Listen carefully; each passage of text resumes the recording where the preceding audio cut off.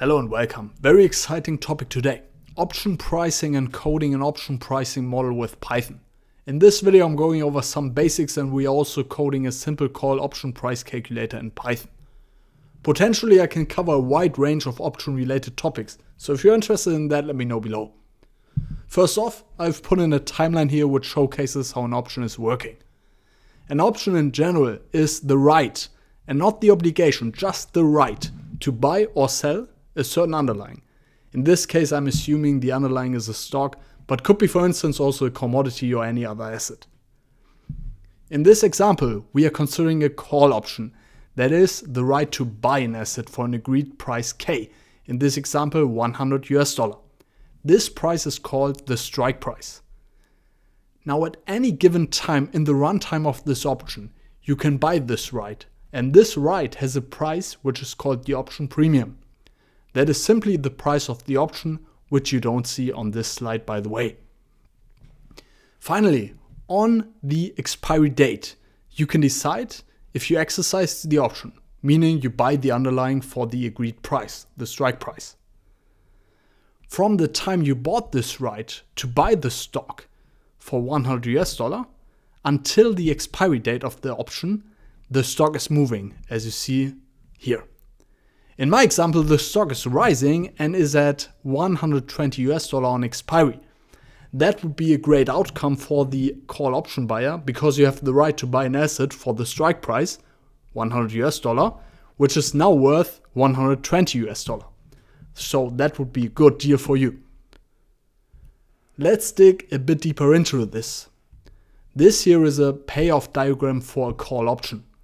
What you see on the horizontal or x-axis is a range of prices for the underlying, so the stock. So stock is worth 80, stock is worth 90 and so on. The assumption is the same as before. Strike price is 100. Now as long as the stock price is below 100, this option wouldn't make sense to exercise simply because you don't want to buy something for 100 US dollar, which is worth less. But why is this line flat and doesn't change with the underlying price in this area. As mentioned, you pay a premium, which is the option price. And as long as the stock price is below the strike, you wouldn't exercise the option, but still you would need to pay the premium, which is assumed to be 1 US dollar here. There's an important term for this situation, which is this option would be out of the money in this area. Now, the next area, this dotted red line, which is the underlying is exactly worth the strike price, is still in the red zone.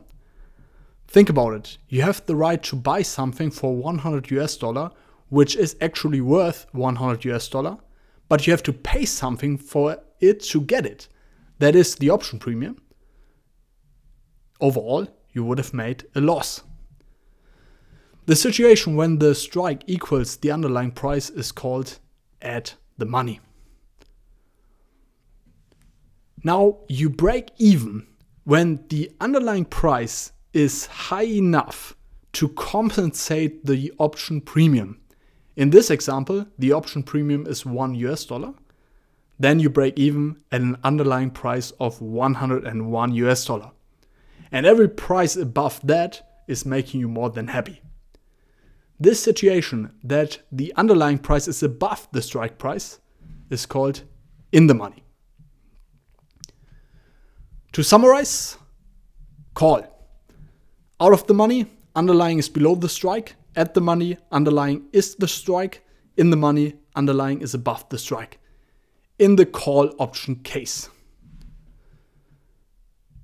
Let's jump back to the timeline again and think about which parameters could influence the price of that option.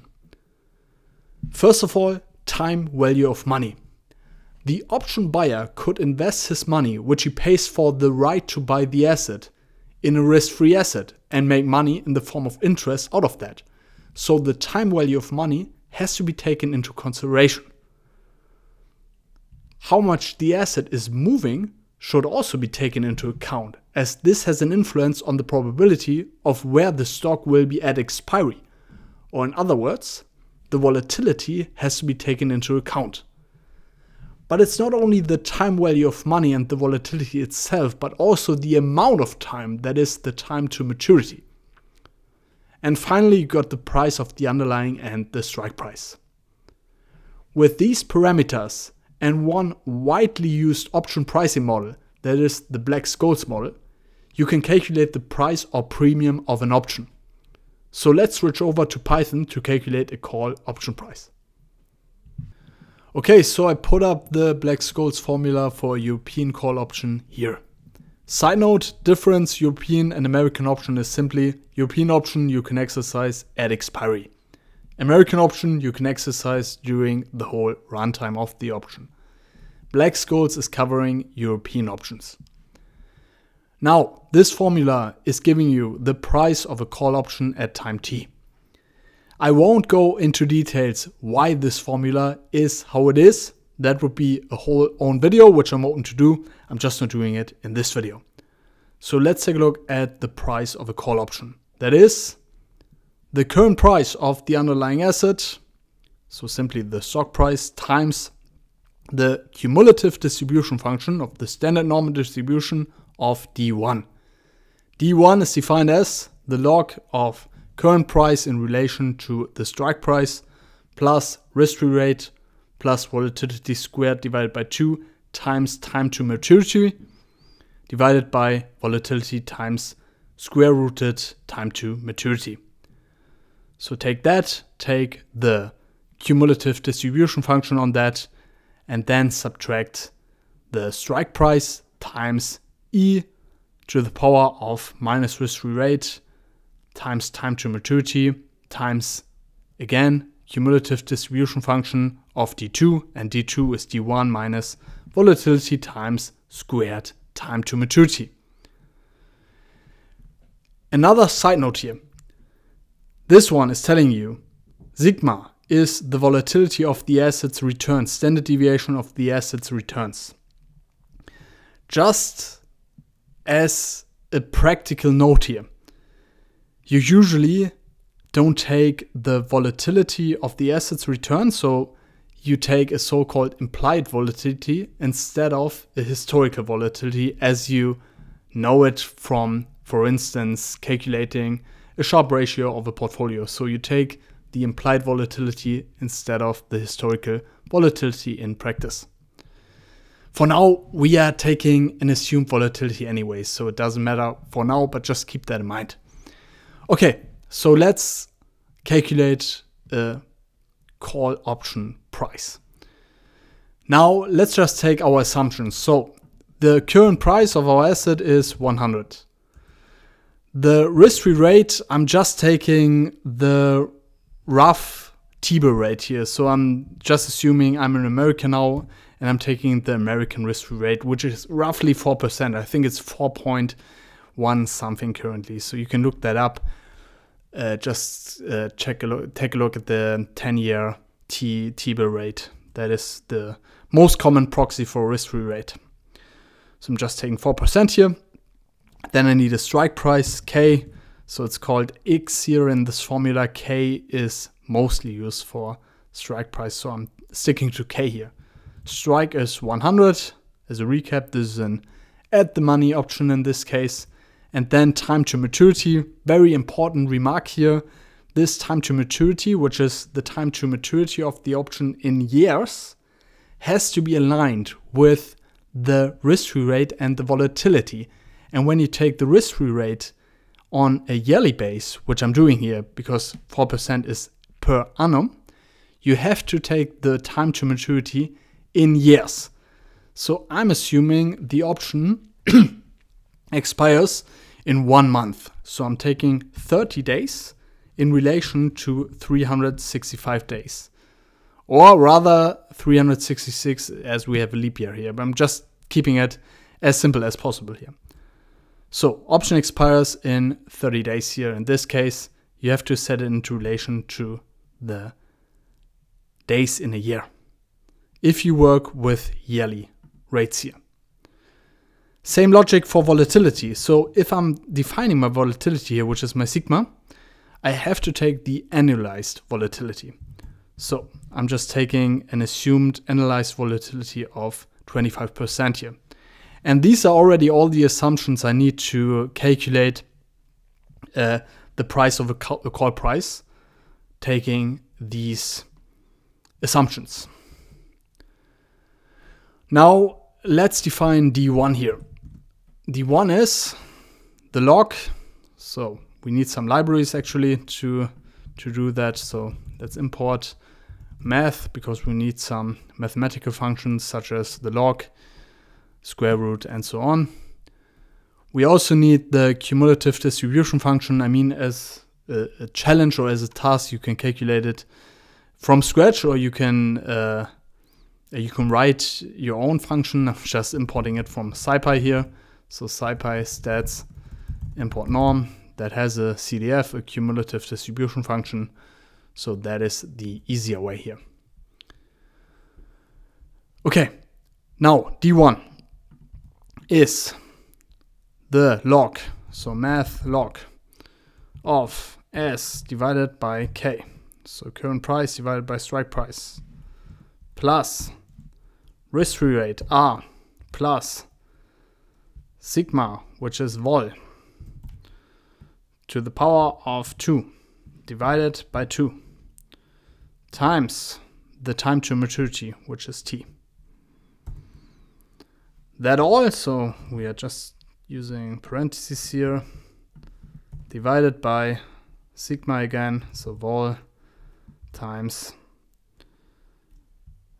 the squared maturity. I'm just taking it like this here. So just just the square root. So just as a reminder so you know what I'm doing here. If you take math square root of 81 you're getting 9 but you're also getting 9 if you take it to the power of one and a half math recap so I'm taking that you can also take that one if you feel more com comfortable with that that is already it for D1 so we have D1 calculated and D2 straightforward D1 minus sigma times again the squared time to maturity. And with that, we can calculate our call price. And again, call price. So we can just take S times, and now we need the cumulative distribution function of D1. So just um, S times norm CDF of D1, then normal distribution 0, 1, minus, and then x times, so k strike times uh, e function to the power of minus r times maturity, simply minus r times t and then times n, so cumulative distribution function again of d2. So again, norm CDF of d2, 0, 1. And that would yield the price of that option, which is 3.01312 here. So how can we cross check if that's right? We can just, for instance, take an online option price calculator, put in our numbers, which I already did here. So we have 3.021, 3.013. So I must have messed up somewhere here. So let's quickly go through it. Ah, probably need to take a parenthesis here. Yeah, sorry for that. So you also need a pair of parentheses here. So this one is giving you a 3.0211, which is exactly the price of a call option here. So if you want to wrap that into a function, So def call price or whatsoever. Just take rs k t vol or sigma you can also use. And then you can just copy paste here. D1, D2, and then return the result of this one here. And then call price of RSKT vol, you're getting a call price. If that is, is changing now, so let's say we take an in the money option, so 80, it would give us 20.26 euro. So S K should be 80 here. So if we execute that again, we're getting 20.26 S here. And yeah, that's already it. So what you can do, what I find quite interesting or what I find a good case to apply, what I just showed you is take an option chain here, for instance, from Finance Yahoo or Yahoo Finance, and then take a look at, for instance, this one here. So that is an uh, in the money call on Google or Alphabet whatsoever with a strike of 80. And if you put in all numbers and take the implied volatility, as I just said, instead of the historical volatility, and put that into the option price calculator, you should get close to the option price here, right? So close because I don't know what's the exact assumptions here of this one. I don't even know if that is Black-Scholes, but even if it's another option pricing model, you should get close to these numbers here. All right, so make the test. I already did. You're getting very close to it. And yeah, that's it for this video. As said, there is a lot more to cover here, a lot of super interesting stuff. So let me know if you're interested in that. And I thank you very much for watching and I'm looking forward to seeing you in the upcoming videos. Bye bye.